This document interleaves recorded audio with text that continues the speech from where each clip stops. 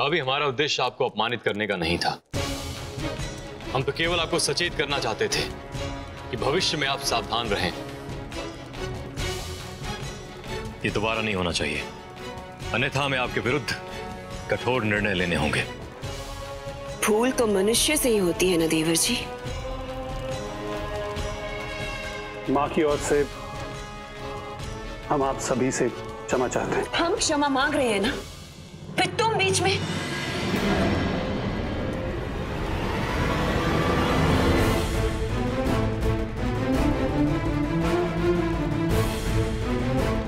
भविष्य में ऐसी भूल नहीं होगी देवर जी।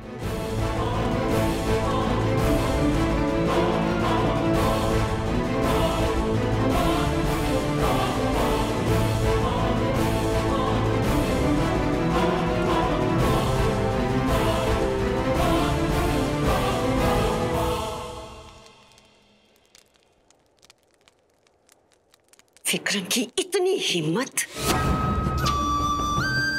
यूँ भरे दरबार में हमें नीचा दिखाने का बदला तो हम उसे लेकर ही रहेंगे। भारमल। कहिए माँ क्या करना है हमें? राज सिंहासन के असली अधिकारी तुम हो।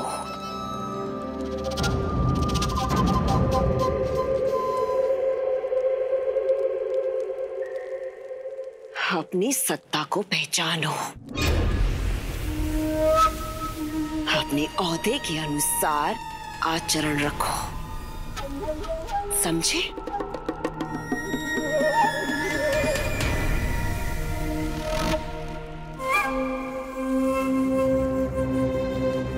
क्या हुआ? कहाँ खोए हो तुम? किंतु माँ माँ हमारी नयन तारा उसके बिना तो हमारा जीवन निर्थक है। हम जा रहे हैं उसे ढूँढने। भारमल भारमल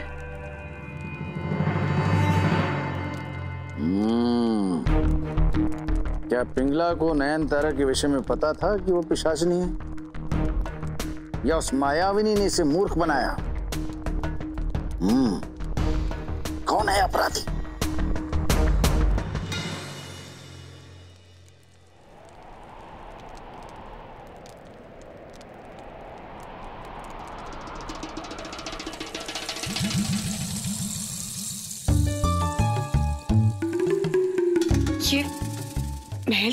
तो बंद है।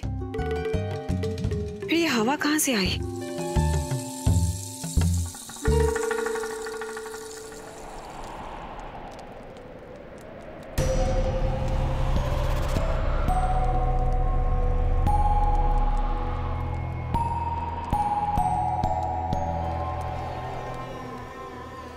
जय गुरु गोरखनाथ, जय गुरु गोरखनाथ। ये भूत!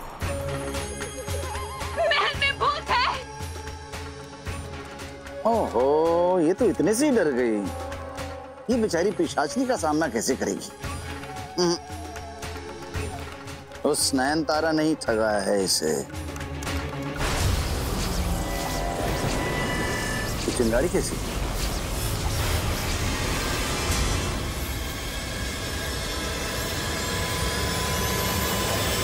ये वस्तु क्या है?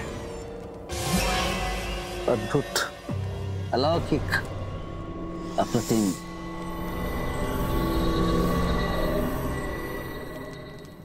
पुत्री? ये कैसे संभव है? विक्रम कहा है तुम ये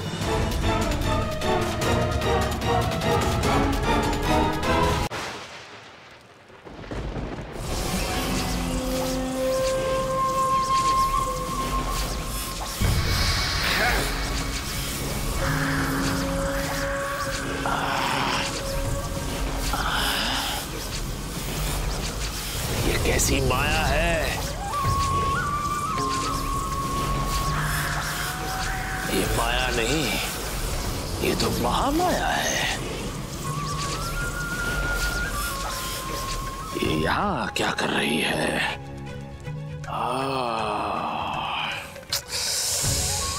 जब समय कठिन चल रहा हो तो हाथी को भी चीटी का सम्मान करना पड़ता है। अब इससे पहले ये मुझ पर हावी हो जाए, मुझे ही अपना सुर बदलना होगा। महामाया! स्वागत है! स्वागत है आपका।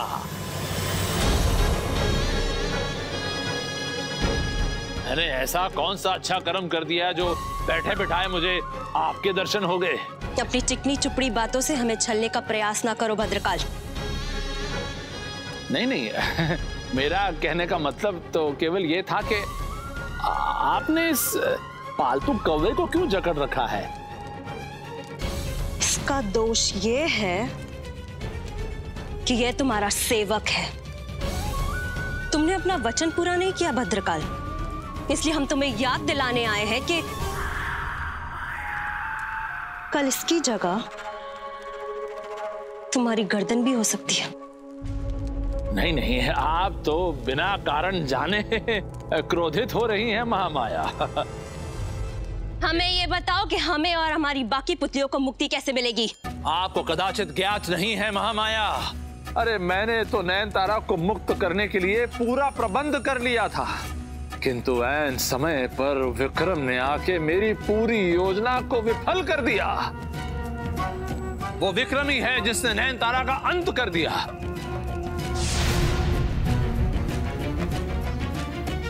विक्रम! उसकी इतनी मजाल! हमारी प्रिय नैन तारा का वध करने वाला ये विक्रम हम उसकी मृत्यु ऐसे करेंगे ऐसे करेंगे कि ये पूरी दुनिया देखेगी। शांत शांत हो जाइए महामाया आपकी हर मंशा पूरी होगी। आप चिंता क्यों करती हैं? अरे आपके पास तो भद्रकाल का साथ है।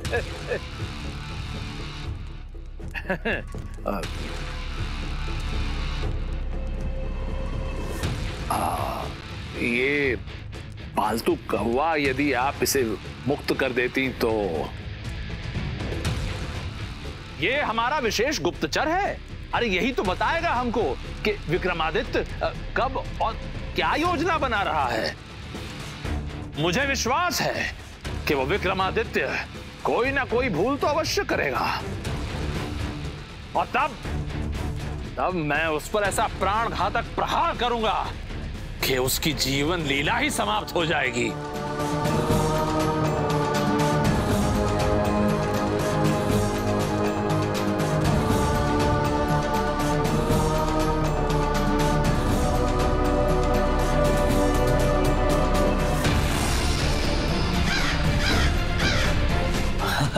धन्यवाद। जाओ जाओ, अपना कार्य पूर्ण करो।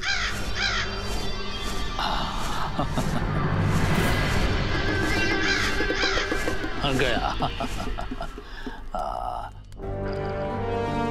ये कारकंड हमारी रणनीति का अति महत्वपूर्ण अंग है।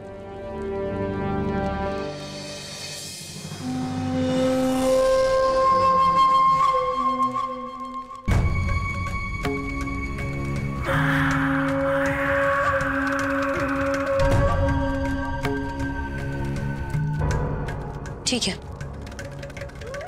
तो जब तक तुम्हारा ये गुप्तचर लौट कर नहीं आता हम उसकी प्रतीक्षा यही करेंगे।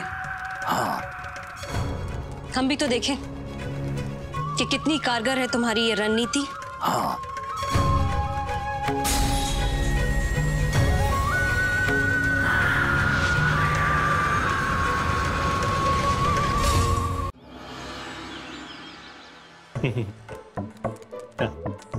मत कीजिए ना बहुत गुदगुदी हो रही है। मत कीजिए ना। बहुत गुदगुदी हो रही है।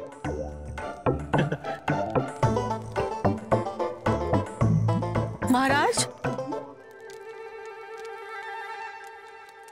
कौन क्या कर रही थी? महारानी कितना सुंदर स्वप्न देख रहे थे हम।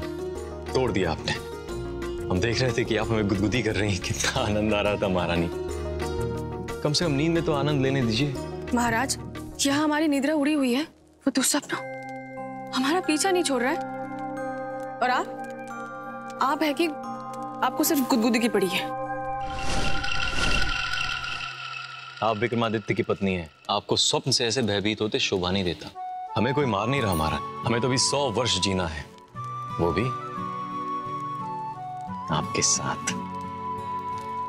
महाराज हमें आपसे कोई बात नहीं करनी। क्यों?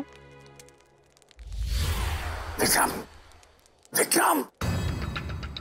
बहुत हुआ प्रणय प्रयास काम की बात करनी है। विषय गंभीर है।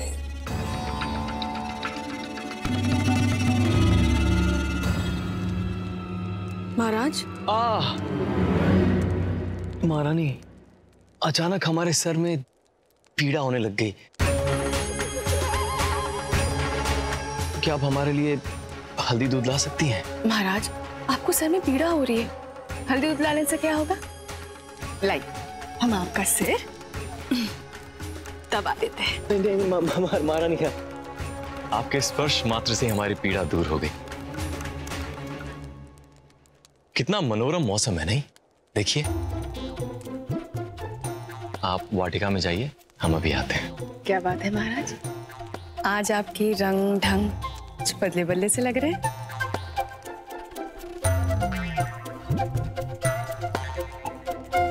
हम अभी आते हैं महारानी। आप जाइए हम अभी आते हैं। अब पुनः वहाँ क्या देख रहे हैं? हम बस मौसम देख रहे थे देखिए कितना मनोरम है। हम आपकी प्रतीक्षा करेंगे।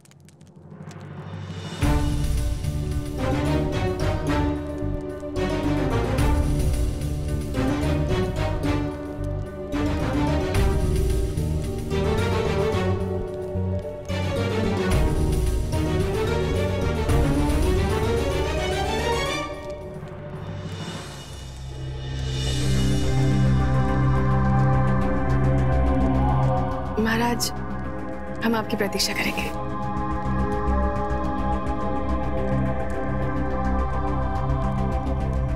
वरामीर जी। बेताल? ऐसी क्या गंभीर समस्या आ गई थी बेताल जो तुमसे रुका नहीं गया? नयन तारा पुतली बनके तेरे सिंहासन में स्थापित हो गई है। ज्ञात है हमें? क्या है? क्या है तो बताया क्यों नहीं? इसे कोई साधारण घटना मत समझना। ये वही पुतली है जिसकी कथा मैंने तुझे सुनाई थी। अर्थात महाराज जो आपकी कुंडली में लिखा गया है वो सत्य सिद्ध होने वाला है। एक के बाद एक करके 31 पुतलियाँ आपके सिंहासन में स्थापित होने वाली हैं। इकतीस नहीं बत्तीस। 31 पुतलियाँ शेष रह गई हैं है ना? बत्तीस थी बत्तीस ही हैं। अब महाराज एक प्रेत से हमें गणना सीखनी पड़ेगी। सीखने की कोई आयु नहीं होती गुरुदेव। बेताल वरामीर जी कह रहे हैं कि अब इकतीस पुतलियाँ शेष हैं कि एक पुतली हमारे सिंहासन में स्थापित हो चुकी है। बस तुम्हारी इस अशांत मनोदशा का कारण क्या है कारण है राजन। बत्तीस पुतलियाँ केवल भद्रकाल के पास हैं। अगर वो उसकी मृत्यु के पश्चात यहाँ आई है तेरे पास तो इसका अर्थ है भद्रकाल जीवित है।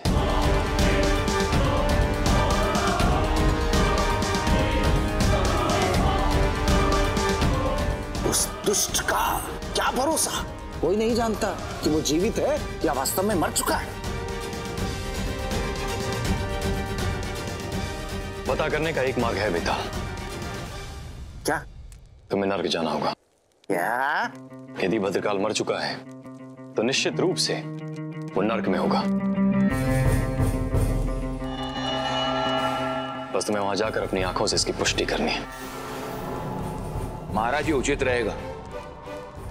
क्योंकि जहाँ तक भद्रकाल का प्रश्न है कुछ भी असंभव नहीं है। क्या सोच रहे हो बेताल? वैसे भी तुम्हें वही होना चाहिए था। हम्म, ठीक है। मैं नर्क की तैयारी करता हूँ। शीघ्र प्रस्थान करो।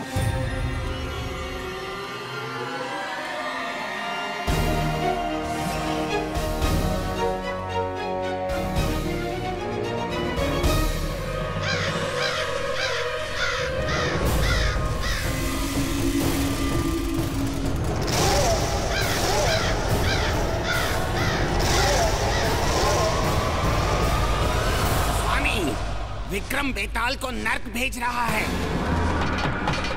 नर्क? परंतु क्यों? ये पता करने कि स्वामी की आत्मा वही है या नहीं। उन्हें शक हो गया है कि आप जीवित हैं। क्या? किंतु ये कैसे हो सकता है?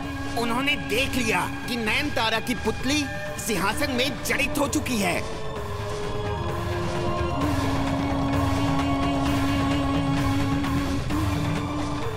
कहीं ये खेल आरंभ होने से पहले ही बिगड़ तो नहीं गया।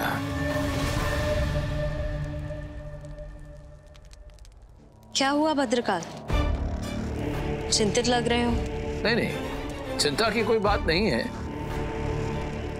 किंतु ये खेल जितना साधारण समझा था उतना है नहीं। ये खेल अपने ही बुने जाल में उलझता जा रहा है। कोई तो मार्ग। मार्ग बहुत ही सरल है भद्रकाल। कैसा मार्ग? तुम्हारी मृत्यु। क्या?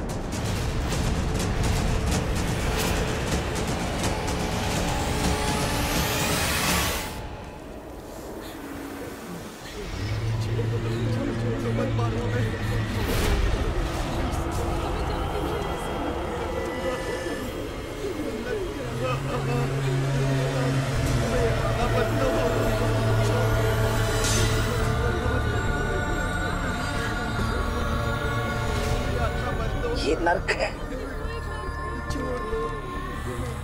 बिल्कुल नर्क जैसा। अरे भद्रकाल अगर तू यहीं है तो सामने आ जा। लुका छिपी खेलने का समय नहीं है हमारे पास।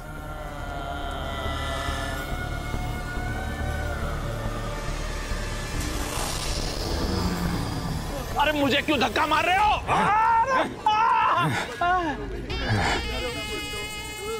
मैं नर्क में कैसे आ गया? जैसे सब आते हैं। यमदूत उठा लाते हैं मरने के बाद।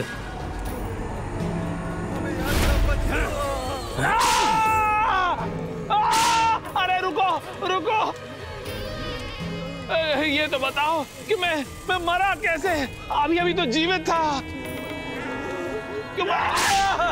मुझे क्यों मार रहे हो? तुम लोग मुझे पहचानते नहीं हो। अरे मैं मैं भद्रकाल हूँ। कालों का काल भद्रकाल। तो, तुम लोग मुझे नहीं पहचान पा रहे हो। कालों का काल। आ, आ, अरे दूर हटो दूर हटो। मुझे हाथ मत लगाओ। दूर हटो दूर हटो। अरे दूर हटो। अरे तुम लोगों को तो झुककर मुझे प्रणाम करना चाहिए।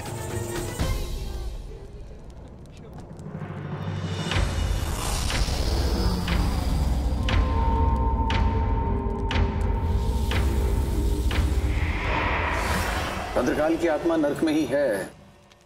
मैंने स्वयं देखा। अर्थात इसमें कोई शंका नहीं कि भद्रकाल मर चुका है। महाराज अब तो चिंता की कोई बात नहीं है।